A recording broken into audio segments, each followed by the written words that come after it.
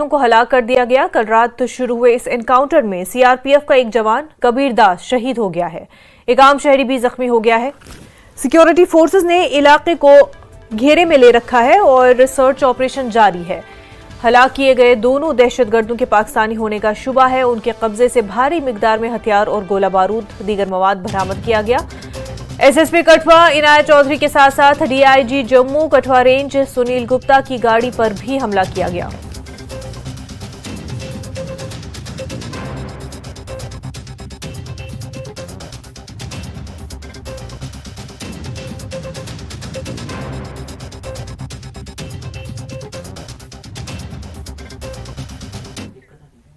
ADGP आनंद जय ने कहा कि हीरानगर में दो दहशतगर्दों को हलाक किया गया। उन्होंने कहा कि दहशतगर्दों के कब्जे से दीगर असलाह के साथ साथ एक पुराना आईईडी भी बरामद हुआ है। उन्होंने कहा कि इलाके में कुछ और दहशतगर्द छुपे हो सकते हैं, लिहाजा इलाके में तलाशी मुहिम जारी रहेगी। सभी के समन्वय के साथ ये ऑपरेशन लॉन्च किया गया?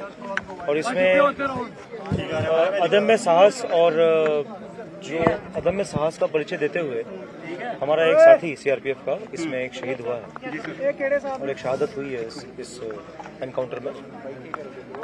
उनकी शहादत को हम सलाम करते हैं। और एक आतंकवादी और मारा गया है इलाके में। और उससे जो ये ऑपरेशन था ये काफ़ी समय तक चला तो इस इलाके में हमने अभी और भी आतंकवादियों की छिपे होने की सूचना मिल सकती है।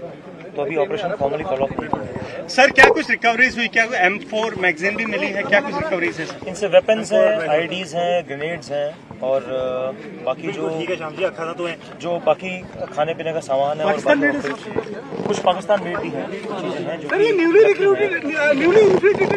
ये नया ग्रुप है जिसमें कि इस, इस इलाके में आया है और ज़्यादा आतंकवादियों की छिपे होने की भी संभावना एक ऑपरेशन आर्मी सीआरपीएफ पुलिस सभी का ज्वाइंट ऑपरेशन वहाँ पर उस इलाके में चल रहा है।